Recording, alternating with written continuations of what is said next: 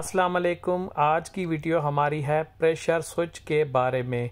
तो इस वीडियो में हम आज सीखेंगे एक प्रेशर स्विच के इलेक्ट्रिकली कनेक्शन कैसे किए जाते हैं और प्रेशर स्विच की एडजस्टमेंट यानी मोटर के साथ कनेक्ट करके उसका हाई प्रेशर पे स्टॉप और लो प्रेशर पे मोटर का स्टार्ट उसको एडजस्ट करेंगे और उसको प्रॉपर चेक करेंगे।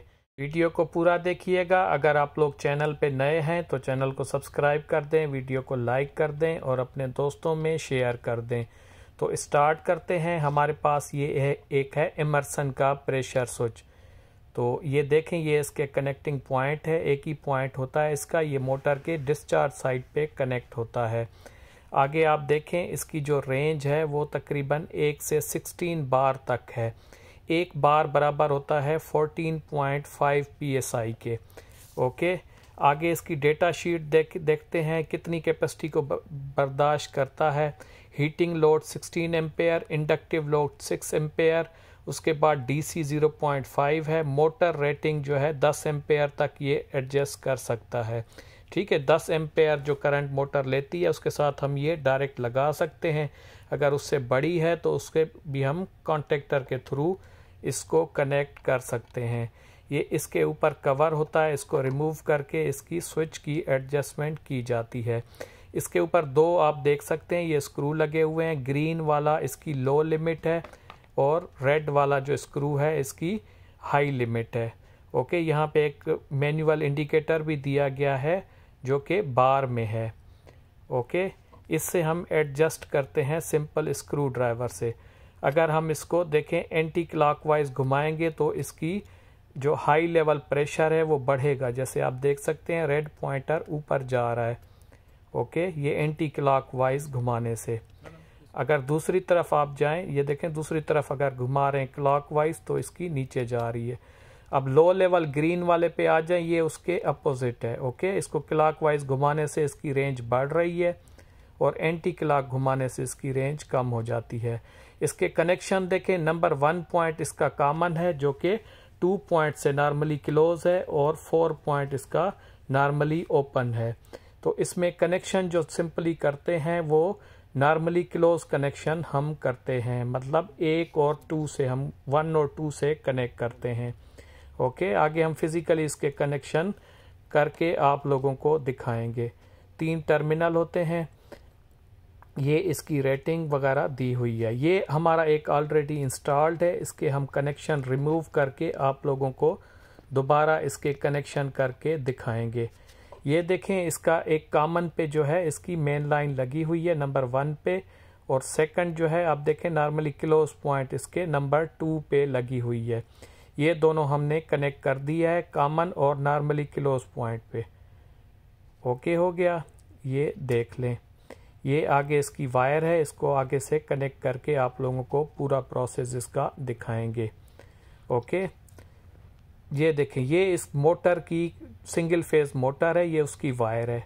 ठीक है? न्यूट्रल फ़ेज़ और अर्थ की है। दूसरी जो हमारी वायर है, ये मेन इनकमिंग पावर है। मेन इनकमिंग पावर है और ये मोटर की है। ये इनकमिंग है और तीसरी ये बारीक वाली प्रेशर स्विच की वायर है। ओके ठीक हो गया, ये देखें तीन तरह की। ये मेन इनकमिंग है, फिर मोटर की वायर है और ये प्रेशर स्विच की। ओके हो गया। अभी हम इसको कनेक्ट करके आप लोगों को दिखाएँगे। सबसे पहले हम इसकी जो ग्राउंड की है या जिसको अर्थ कहते हैं, उस वायर को कनेक्ट करेंगे। ये एक मोटर से आ रही है, दूसरी मेन इनकमिंग वाली। अर्थ वायर हम सबसे पहले कनेक्ट करेंगे। ओके हो गया। ये देखें इसको कनेक्ट करके हम इसको टेप कर देंगे प्रॉपर जो हमारे प्लम्बर दोस्त हैं वो भी इसको सीख लें बेसिक कनेक्शन है। ओके नेक्स्ट आप देखें जो मेन लाइन है फ़ेज़ वायर है जो मेन इनकमिंग से आ रही है और एक जो मोटर की तरफ़ जा रही है उसको हम डायरेक्टली कनेक्ट कर देंगे। ओके ब्राउन ब्राउन वायर आप देख सकते हैं। एक मेन इनकमिंग की है, दूसरी मोटर वाली साइड की। इन दोनों को हम डायरेक्टली कनेक्ट कर देंगे। ओके हो गया। एक वायर हम डायरेक्टली कनेक्ट कर देंगे। ये देखें, एक मेन इनकमिंग की है, दूसरी मोटर की तरफ़ जो जा रही है। एक वायर इन दोनों की आपस में हम कनेक्ट करके इसको प्रॉपर टेप कर देंगे। ओके बाकी जो दोनों ब्लू वाली, मोटी वाली वायर हैं, अगर हम ये कनेक्ट करेंगे तो इससे हमारी मोटर डायरेक्ट चलेगी। ओके हमने डायरेक्ट नहीं चलानी प्रेशर स्विच से चलानी है। तो फिर हम क्या करेंगे? जो ब्लू वायर है, जो नंबर वन पे लगी हुई है, आप लोग यहाँ देख सकते हैं प्रेशर स्विच के। नंबर वन पे कॉमन पॉइंट पे लगी है। ये हम लगाएँगे मेन इनकमिंग लाइन से। ओके? ये जो इनपुट की थी, एक एक लाइन जो फ्री थी, उस पर हम ये लगा देंगे। अगर दूसरी भी लगा देंगे तो चलेगी, पर बेहतर ये होता है कि आप ये वाली लगा दें कॉमन वाली। ओके, हो गया, इसको हम टेप कर देंगे। ठीक है, बाकी जो दूसरी वायर है मोटर साइड वाली, और जो ब्राउन ब्राउन वायर है, जो नंबर प्रेशर स्विच के नंबर टू पॉइंट से आ रही है, उन दोनों को आपस में हम कनेक्ट कर देंगे। ओके? एक वायर जो मोटर से आ रही है दूसरी वायर। एक तो पहले कनेक्ट कर दी थी जो जो दूसरी फ्री थी। उसको हम स्विच के जो दो नंबर से वायर आ रही है brown wire normally close point से उससे कनेक्ट करके हमने टेप कर दिया है। एक दफ़ा फिर देख लें।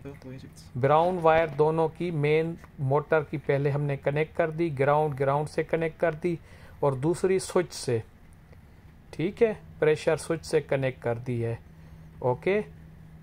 एक वायर मतलब मेन की डायरेक्ट मोटर से कनेक्ट है, दूसरी प्रेशर स्विच के नॉर्मली क्लोज पॉइंट से होती हुई मोटर की तरफ़ जा रही है। ओके इनको हम प्रॉपर टेप कर देंगे। तो ये हमारा कनेक्शन पूरे हैं, हम अब प्रेशर बनाएँगे। ये ऑलरेडी चार्ज प्रेशर था थोड़ा सा डिस्चार्ज हो गया, हम इसको चला देंगे। तो मोटर को हम चला देंगे, आप लोग देख लें इसकी जो सेटिंग है प्रेशर की, देख लें कितनी है, आप लोग खुद वेरीफाई कर लें। ये तकरीबन बन रही है। अगर आप लोगों को नज़र आ रहा है तो ये पाँच बार पाँच बार से थोड़ी सी कम है। ठीक है, पाँच बार तकरीबन बनता है हमारा seventy seventy P S I तक। ये देखें, प्रेशर हमारा चार्ज हो रहा है, ये सिक्सटी पी एस आई हो गया।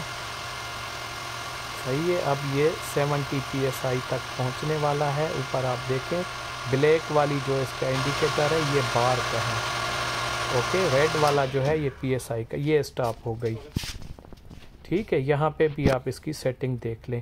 ये मैनुअल होता है, इससे थोड़ा बहुत ऊपर नीचे हो जाता है तो इसको आप कंसिडर कर लिया करें, क्योंकि ये मैनुअल इंडिकेटर है। अब हम प्रेशर रिलीज़ कर रहे हैं मोटर स्टार्ट का प्रेशर चेक करेंगे।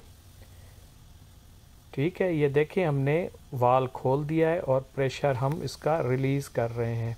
तो इसका भी आप लोग देख लें, ये तकरीबन जो है, साढ़े तीन से थोड़ा सा ऊपर, ये देखें, साढ़े तीन से ऊपर ये फिर से स्टार्ट हो गई। ओके हो गया। ये इस तरीके से स्टार्ट हो गई, जो करंट इसकी सेटिंग है, उसके मुताबिक आप लोगों को दिखाने के लिए स्टार्ट अब देखें, हम इसकी अपर वैल्यू जो उसको कम कर रहे हैं, ठीक है? ये देखें। हम इसको कम कर रहे हैं क्लॉकवाइज घुमा के, ये तकरीबन जो है अब देखें, चार हो गया, चार से भी नीचे आ रही है। तकरीबन साढ़े तीन तक। ठीक है, तीन, सवा तीन तक, इतने तक है। तो अभी हम इसका प्रेशर रिलीज़ कर देंगे। तो अभी हम इसको वेरीफाई करेंगे, साढ़े तीन तक ये स्टॉप होती है या नहीं एज़ पर हमारी जो नई सेटिंग है। ये देख लें। ये तीन से क्रॉस कर रहा है। तकरीबन साढ़े तीन तक ये स्टॉप हो गया। ओके हो गया। अभी हम इसकी लोअर लिमिट ये देखें लोअर लिमिट को हम और कम कर रहे हैं। यहाँ पे देख लें। ये तकरीबन दो दो बार तक, दो बार तकरीबन बनता है अट्ठाईस उनतीस पी एस आई थर्टी तक। तो प्रेशर हम रिलीज़ कर रहे हैं, देख रहे हैं कि हमारी सेटिंग के मुताबिक ये स्टार्ट मोटर होती है या नहीं? ये रिलीजिंग की वीडियो मैंने थोड़ी सी फास्ट कर देता हूँ, क्योंकि टाइम लगता है वीडियो लंबी हो जाती है तो दोस्त फिर कहते हैं कि लंबी वीडियो नहीं देखते। अब देखिएगा स्टार्ट हो जाएगी दो बार के करीब। दो बार या तीस पी एस आई तकरीबन। अब देखें, ये तीस के करीब है ऑलमोस्ट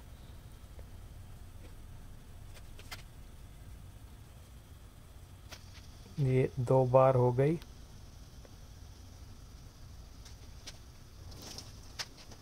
ये देखिए।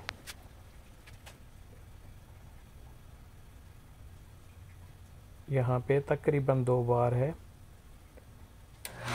ये स्टार्ट हो गई।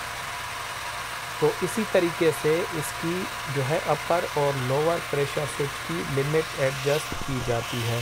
अब आ जाए कॉमन जो इसकी जो प्रेशर स्विच की एडजस्टमेंट होती है प्लम्बिंग में, वो तकरीबन होती है 20 से 30 पीएसआई के डिफरेंस में जो है एडजस्ट की जाती है। बाज़ात ये 20 पीएसआई पे स्टार्ट होता है 50 पे स्टॉप होता है। या बाज़ जगहों पे ये 30 50 भी होता है। 40 60 पीएसआई भी एडजस्ट करते हैं या 40 70 पीएसआई भी एडजस्ट करते हैं। ओके उसी हिसाब से आप उसको बार में कन्वर्ट कर दें। एक बार बराबर होता है 14.5 पीएसआई के। तो इस हिसाब से प्लम्बिंग में इसकी सेटिंग होती है। कॉमन जो रखा जाता है 20 पीएसआई का डिफरेंस अगर आपने गैप बढ़ाना है तो आप ज़्यादा भी कर सकते हैं। तो उम्मीद करता हूँ वीडियो आप लोगों को पसंद